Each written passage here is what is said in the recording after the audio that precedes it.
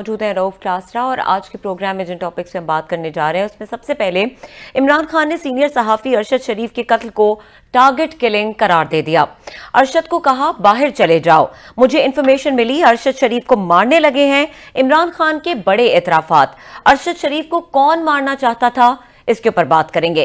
इसके अलावा बात करेंगे, अरशद शरीफ ने खत के ज़रिए सदर आरिफ अलवी को आगाह किया कि उन्हें कत्ल की धमकियाँ दी जा रही हैं। इस खत के बाद अरशद शरीफ के तहफ़ के लिए क्या कार्रवाई की गई? अरशद के कत्ल से कौन फ़ायदा उठा रहा है? इसके अलावा तो आपने ये छोटा सा वीडियो देखा, आप देख समझ सकते हैं किस तरीके की सिचुएशन है। आपको बता दूँ, अरशद शरीफ एक पाकिस्तानी जर्नलिस्ट थे जिनको केन्या में शूट कर दिया गया, वो कार में थे और उनको शूट कर दिया गया। और, हालाँकि उनको लेकर, पाकिस्तान के वो जर्नलिस्ट थे, उनको लेकर शायद आपने उतना फॉलो नहीं किया होगा क्योंकि वो मतलब यूट्यूब इंडियन यूट्यूबर्स जो हैं, वो मतलब उनके लिए वो परफेक्ट मटेरियल नहीं थे क्योंकि वो इमरान खान के सपोर्टर थे। तो आर्मी को लेकर काफ़ी वो एंटी आर्मी थे। तो इस वजह से ऐसा माना जा रहा है कि वो मारे गए। आगे आपको हामिद मीर समझाएँगे किस तरीके से वो पाकिस्तान छोड़ने की तलाश में थे और केन्या इसलिए गए क्योंकि केन्या में पाकिस्तान को सीधा एंट्री मिल जाता है, वीज़ा की ज़रूरत नहीं रहती है ऑन पासपोर्ट तो इस तरीके का कुछ सीन था, हालाँकि उनकी वाइफ के बारे में बताऊँगा वीडियो के लास्ट में। पहले पूरा वीडियो देखते हैं प्लीज़ चैनल को सब्सक्राइब करिएगा। अगर आपको ये वीडियो पसंद आता है, जय सर बहुत शुक्रिया, आपने हमें ज्वाइन किया, मीर साहब। ये, यहाँ से सर ये शुरू कर लेते हैं जुडिशल कमीशन से आप इससे सेटिस्फाइड हैं कि जुडिशल कमीशन बनाने से अरशद शरीफ साहब से रिलेटेड जो क्वेश्चन हैं चीज़ें हैं इनके सवाल के जवाब मिल जाएँगे और और उस पर्टिकुलर में इसलिए भी कह रहा हूँ कि आप पे भी एक जुडिशल कमीशन बनाया गया था जब आप असेसिनेशन अटैम्प्ट हुई थी। तो how do you view sir देखें जो जो जुडिशल कमीशन मेरे पे कादराना हमले पे बना था वो बहुत ही हाई पावर था। जी।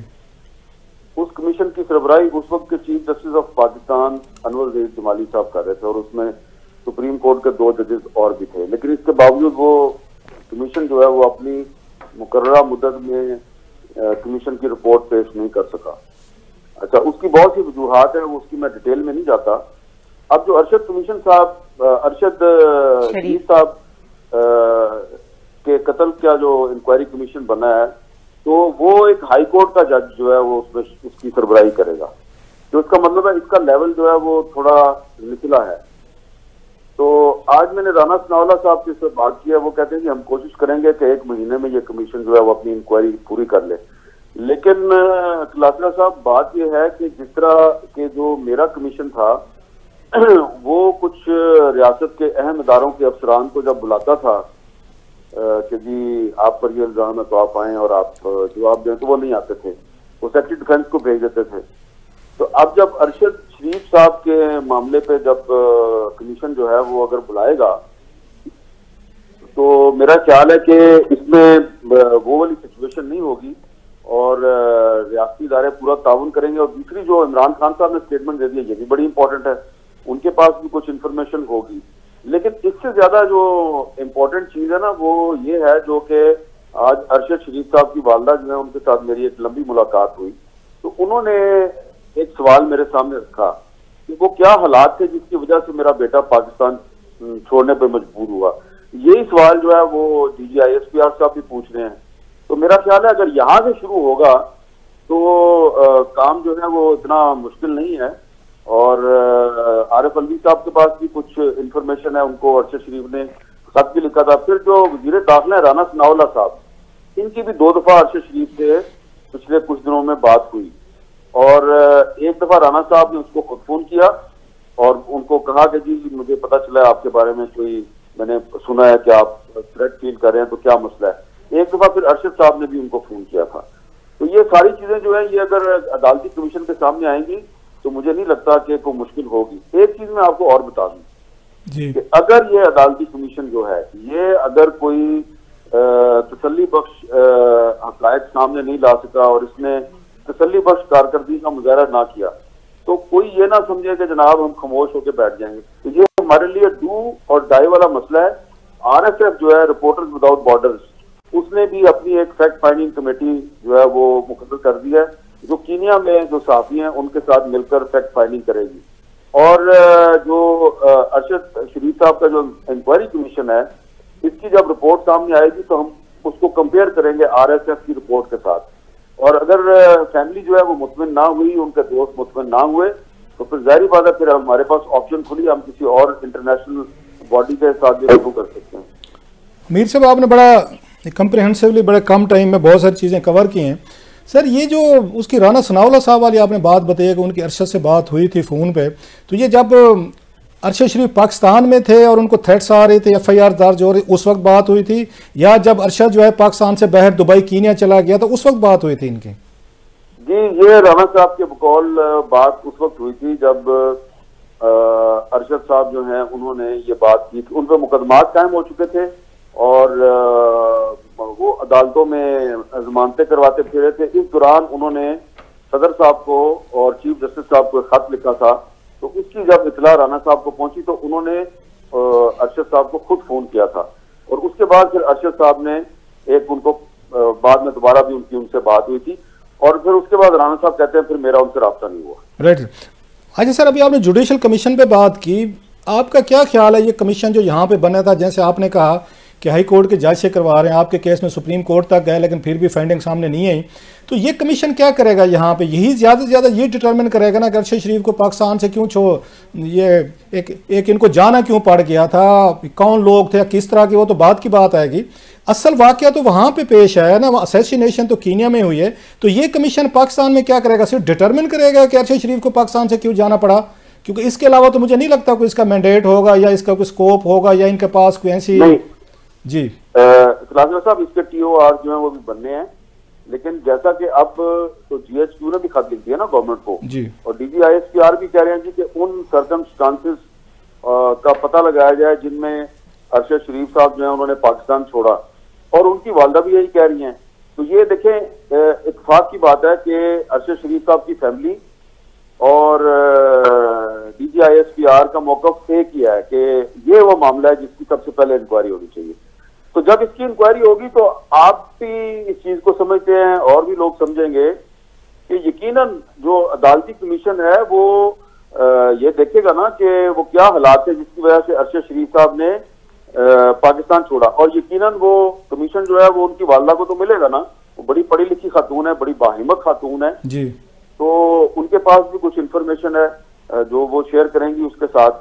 तो वो जो उन्होंने आज सवाल मेरे सामने रखा है वही सवाल वो रखेंगी कमीशन के सामने कि मुझे बताओ कि मेरे बेटे पे वो कौन कौन आदमी था जो पाकिस्तान के मुख्तलिफ़ शहरों में बैक वक्त मेरे बेटे पे मुकदमा दर्ज करवा रहा था और मेरा बेटा कभी एक शहर में जमानत करवा रहा है कभी दूसरे शहर में जमानत करवा रहा है। फिर इमरान खान साहब ने भी एक बात कर दी है कि जी मैं मैंने अरशद शरीफ को कहा था पाकिस्तान छोड़ो।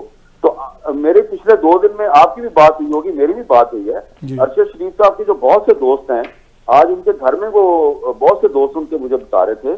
कि जब उन्होंने अरशद शरीफ को बार बार कहा कि तुम पाकिस्तान छोड़ दो, पाकिस्तान से चले जाओ तो अरशद शरीफ साहब जो है वो बिल्कुल भी प्यार नहीं थे पाकिस्तान छोड़ने से यहाँ तक कि काशिफ वासी साहब ने उनको ये कहा कि भाई तुम वीजे तो लगवा लो अपने, वीजे लगवा के रख लो और जब अभी अगर मुश्किल सूरत हाल हो तो तुम पाकिस्तान से बाहर चले जाना। लेकिन अरशद ने उनको कहा कि मैंने तो पाकिस्तान से बाहर जाना ही नहीं। तो फिर लगता यही है कि इमरान खान साहब ने उनको फिर सेंसिटाइज किया कि भाई तुम्हारे लिए बहुत बड़ा खतरा है तो तुम फौरी तौर पर पाकिस्तान छोड़ो। तो उस वक्त अरशद साहब के पास फौरी तौर पर कोई वीज़ा नहीं था, लिहाजा वो दुबई चले गए। अब जब वो दुबई चले गए तो उनके जो दोस्त हैं और उनके एक वकील साहब जो हैं, उन्होंने ये बताया कि जी, वहाँ पे दुबई की अथॉरिटीज जो हैं, उन्होंने अरशद शरीफ को कांटेक्ट किया और उनसे कहा जी कि हम पे दबाव है, या तो आप पाकिस्तान वापस चले जाएँ, या फिर आप यूएई को छोड़ दें। तो फिर अरशद शरीफ साहब के पास वीज़ा कोई नहीं था तो वो फिर कीनिया चले गए, क्योंकि कीनिया में एंट्री जो है वो बगैर वीजे के हो जाती है, पाकिस्तानी पासपोर्ट से तो ये सारी बातें जो है, ये कमीशन के सामने आएँगी। और अगर इमरान खान साहब जो है, उन्होंने आज पब्लिकली ये कह दिया है कि मुझे पता चला कि उसको मार देंगे तो जारी बात है, किसी न किसी बंदे का नाम तो लेंगे ना। किसी ना किसी ने तो उनको बताया होगा ना हवा भी तो स्टेटमेंट नहीं दे दी। तो लिहाजा मुझे उम्मीद है कि अदालती कमीशन जो है वो ये तो डिटरमिन कर लेगा कि अरशद शरीफ साहब ने पाकिस्तान क्यों छोड़ा वो कौन था जो उनके पीछे लगा हुआ था। तो दोस्तों, ये वीडियो यहाँ पर होता है ख़त्म। आपने देखा किस तरीके की बात हो रही थी। मैं आपको बताना चाहता हूँ कि अरशद शरीफ को मैंने सुना है एक दो बार एक दो बार ही सुना होगा मैं, बहुत साल से पाकिस्तानी मीडिया फॉलो कर रहा हूँ चार पाँच साल तो हो गए बहुत सारे वीडियो लाए हूँ आपके लिए। बट अरशद शरीफ इंडिया को लेकर, उनको लेकर शायद ही शायद ही बहुत कम रेयर केस मिलेंगे कि वो जो इंडियन यूट्यूबर है, पाकिस्तान का जो मटेरियल आपके लिए लाते हैं, वो उन्होंने वीडियो अपलोड किए हैं। मैं बहुत, इस इस लाइन में बहुत पुराना हूँ, आप माने ना माने। तो मैं जानता हूँ कि इतना नहीं लाते। बहुत सारे ऐसे जर्नलिस्ट हैं जो इमरान खान को सपोर्ट करते हैं तो उनको, उनका मटेरियल नहीं लाते हैं ज़्यादा, जो मतलब आप समझें। और ये अरशद शरीफ और इनकी वाइफ इनकी वाइफ वाइफ इनकी क्या है, वो ट्विटर पे अभी भी, मुझे समझ में नहीं आ रहा, वो एक अजीब तरीके से रिएक्ट कर रही हैं। वो कह रही हैं कि ये देखिए, ये लोग इनकी डेथ को सेलिब्रेट कर रहे हैं, ये पे पश्तून मूवमेंट वाले पेटीएम वाले पीटीएम वाले सेलिब्रेट कर रहे हैं। मुझे समझ में नहीं आ रहा यार, कोई किसी के घर में अगर कोई चला जाए स्पेशली वाइफ का हस्बैंड चला जाए तो वाइफ तो इतनी सन्न रहेगी कि उसको समझ में नहीं आता कि वो कैसे वो इस तरीके से रिएक्ट कर सकती है। उसको तो सीधा शांत रह के अभी हस्बैंड की बॉडी भी नहीं आई है तो मुझे समझ में नहीं आ रहा कि ये कैसा रिएक्शन है, उनकी वाइफ का, हालाँकि बहुत दुख हुआ।